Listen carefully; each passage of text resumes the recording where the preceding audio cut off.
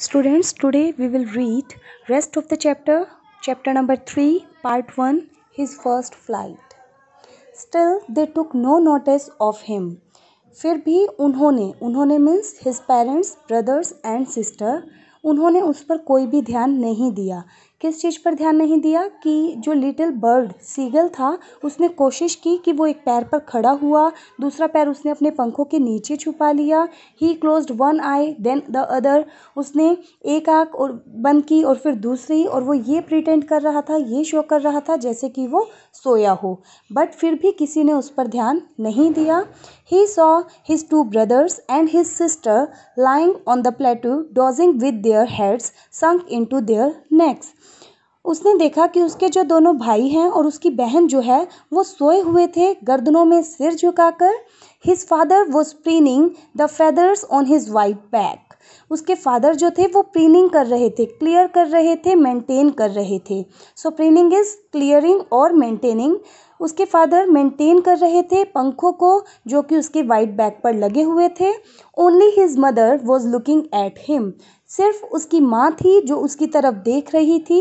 She was standing on a little high hump on the plateau plateau पर थोड़ी ऊंचाई पर उसकी माँ खड़ी थी। Her white breast thrust forward उसकी जो वाइट ब्रेस्ट थी, छाती थी, वो आगे की ओर निकली हुई थी।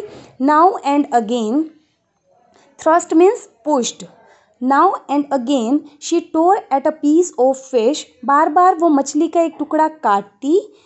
या फाटी दैट ले एट हर फीट जो कि उसके पैरों में पड़ा था and then scraped each side of her beak scraped means रगड़ना। फिर अपनी बीक की, अपनी चोंच की दोनों साइड को रगड़ती ऑन द रॉक चट्टान पर। The side of the food maddened him him means seagull की बात हो रही है। तो फ़ूड की ये जो साइट थी फ़ूड का ये जो नज़ारा था, उसने सीगल को पागल कर दिया कि कैसे उसकी माँ बार बार फ़िश को फ़िश के पीसेस को काट रही थी और बीक को रगड़ रही थी दोनों साइड से। तो ये सब साइड देखकर, ये सब नज़ारा देखकर सीगल पागल हो रहा था क्योंकि वो पिछले एक दिन से भूखा था। How he loved to tear food that way इस तरीके से फ़ूड को काटना उसे कितना पसंद था? Scraping his beak now and again बार बार चोंच को इस तरीके से रगड़ना to whet it to whet it means to sharpen it उसको तीखा करने के लिए चट्टान से रगड़ना उसे कितना पसंद था? गा गा गा he cried begging her to bring him some food गा गा गा मतलब इस तरीके से आवाज़ निकाल के वो चिल्ला रहा था रिक्वेस्ट कर रहा था अपनी मदर से कि वो उसे कुछ खाना दें, भोजन दें। गा, कोल, आ she screamed back derisively derisively गा, कोल, आ कहकर उसकी माँ वापस उस पर चिल्लाई डेरिसिवली मीन्स रेडिक्यूलसली गुस्से से but he kept calling plaintively लेकिन उदासीपूर्वक सैडली वो उन्हें बुलाता रहा अपनी मदर को एंड आफ्टर अ मिनट और सो अ मिनट और सो मीन्स एक या दो मिनट के बाद ही अटर्ड अ जॉयफुल स्क्रीम वो बहुत खुशी से चिल्लाया। His mother had picked up a piece of the piece of the fish उसकी मदर ने फ़िश का एक पीस उठाया and was flying across to him और उसकी ओर उड़ी विद इट उस टुकड़े के साथ। ही लीन्ड आउट ईगरली वो एक्साइटेड होकर आगे की ओर झुका, कौन? Seagull. Tapping the rock with his feet चट्टान को अपने पैरों से टैप करते हुए, पीटते हुए या टैपिंग की आवाज़ करते हुए trying to get nearer to her ये कोशिश करते हुए कि वो अपनी माँ के पास पहुँच जाए। एज शी फ्लू अक्रॉस जैसे ही वो पास से उड़कर जाएगी। But when she was just opposite to him पर जैसे ही वो उसके सामने वाली चट्टान पर आई शी हॉल्टेड वो रुक गई। हर विंग्स मोशनलेस उसके जो विंग्स थे, उनमें कोई मोशन नहीं थी। वो भी रुक गए स्टिल हो गए।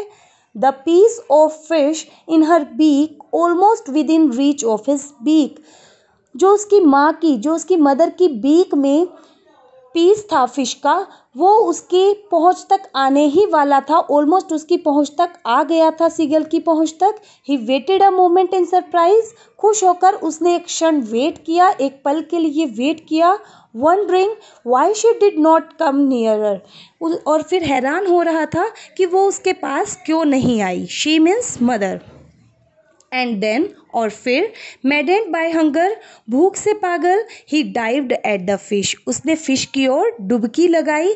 With a loud scream he fell outwards आगे की ओर बहुत तेज चिल्लाते हुए वो गिरा. एंड डाउनवर्ड्स इनटू स्पेस और फिर धरती में नीचे की ओर then a monstrous terror seized him फिर एक बहुत ज़्यादा खतरनाक डर ने उसे सीज कर दिया, उसे रोक दिया स्टिल कर दिया and his heart stood still और उसका दिल भी वहीं रुक गया। ही कुड हियर नथिंग वो कुछ भी नहीं सुन पा रहा था but it only lasted a minute लेकिन जो सब कुछ भी वो ये फील कर रहा था, कि वो डर के कारण रुक गया, उसका दिल रुक गया, वो कुछ सुन नहीं पा रहा था, ये सब कुछ सिर्फ़ एक मिनट तक चला। द नेक्स्ट मोमेंट अगले ही पल he felt his wings spread outwards उसने महसूस किया कि उसके पंख जो है, वो बाहर की तरफ़ फैल रही हैं, उड़ रही हैं। The wind rushed against his breast feathers जो विंड है, वो टकरा रही है उसके ब्रेस्ट फेदर्स के साथ. देन अंडर हिज स्टमक उसके पेट के नीचे एंड अगेंस्ट हिज विंग्स उसके पंखों के साथ. He could feel the tips of his wing cutting through the air वो फील कर सकता था जो उसके पंखों के किनारे थे, उनसे हवा को कटते हुए he was not falling headlong now अब वो नीचे की ओर नहीं गिर रहा था सिर के बल. He was soaring soaring means flying he was soaring gradually वो धीरे धीरे उड़ रहा था. ग्रेजुअली मीन्स स्लोली धीरे धीरे डाउनवर्ड्स एंड आउटवर्ड्स ऊपर और नीचे की ओर. He was no longer afraid अब उसे डर भी नहीं लग रहा था. He just felt a bit dizzy उसे थोड़े चक्कर आ रहे थे। Then he flapped his wings once and he soared upwards फिर उसने अपने पंख फैलाए, फड़फड़ाए और ऊपर की ओर उड़ गया। गा गा गा। गा गा गा। गा कोल आ। His mother swooped past him ऐसा बोलते हुए उसकी माँ उसके पास से गुजरी। Her wings making a loud noise और उसके पंख जो थे, बहुत शोर करते हुए उसके पास से वो गुजरी, उड़ी। He answered her with another scream seagull ने भी और ज़ोर से चिल्लाकर उनको जवाब दिया। Then his father flew over him screaming फिर उसके फादर जो थे, वो उसके ऊपर से उड़कर गए और कैसे गए? चिल्लाते हुए स्क्रीमिंग चिल्लाते हुए he saw his two brothers and his sister flying around him उसने देखा कि उसके दोनों भाई और उसकी बहन उसके चारों ओर उड़ रहे हैं। Curveting and banking and soaring and diving curveting means leaping like a horse एक घोड़े की तरह उछलते हुए banking banking means flying higher with one wing than another कि एक पंख से ज़्यादा उड़ते हुए, ज़्यादा ऊपर उड़ते हुए। मतलब कि तिरछा तिरछी ऊपर उड़ती हुई और डाइविंग डुबकी लगाती हुई।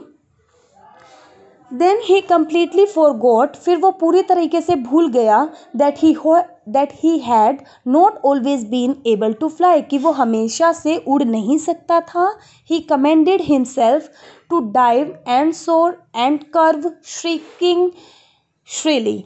फिर वो श्रीली मीन्स तेज श्रीकिंग मीन्स चिल्लाना। फिर वो तेज चिल्लाता हुआ आगे की ओर उछल कर ऊपर चढ़ने और डुबकी लगाने लगा।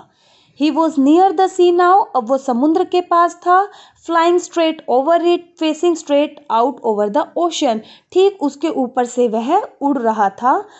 He saw a vast green sea beneath him उसने एक बहुत बड़ा समुद्र अपने नीचे देखा with little ridges moving over it कि छोटे छोटे माउंट्स तो जो थे मतलब छोटा छोटा जो उठाव था, जो टीले थे छोटे छोटे वो उसके ऊपर थे and he turned his beak sideways दोनों तरफ़ उसने अपनी चोंच घुमाई and cawed amusedly amusedly means happily खुश होते हुए वो काय काय करने लगा cawed is a sound produced by birds तो वो काय काय करने लगा खुश होकर his parents and his brothers and sister उसके पेरेंट्स उसके दोनों भाई और उसकी बहन had landed on this green flooring ahead of him वो भी लैंड कर गए, नीचे उतर गए उसके सामने वाले ग्रीन फर्श पर.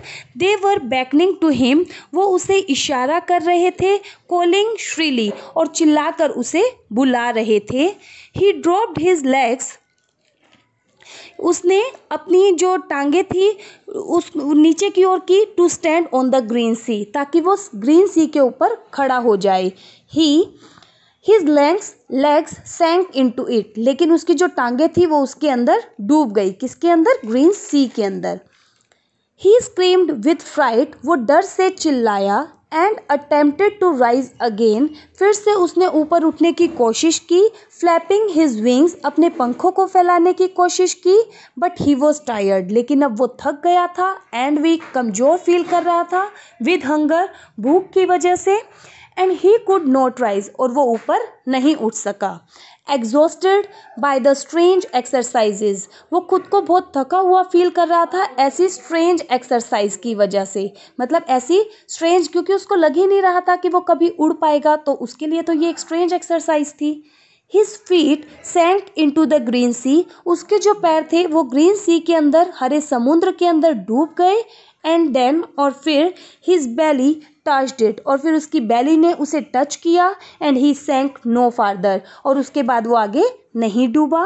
His he was floating on it वो उस पर तैर रहा था and around him his family was screaming और उसके सामने उसकी फैमिली चिल्ला रही थी प्रेजिंग हिम उसकी तारीफ़ कर रहे थे and their beaks were offering him scraps of dogfish और उनकी जो चोंच थी, उसमें वो ऑफ़र कर रहे थे उसे डॉग फ़िश के स्क्रैप्स डॉग फ़िश के जो अवशेष थे, या आप कह सकते हैं टुकड़े, वो उसे ऑफ़र कर रहे थे। He had made his first flight finally जो बर्ड सीगल था, उसने अपनी पहली उड़ान भरी। So students part one is completed. And from this story his first flight first flight part 1 we learned that nothing is impossible if you are if we try if we do hard work we can achieve anything. As the little bird seagull learned to fly and finally he made his first flight. Thank you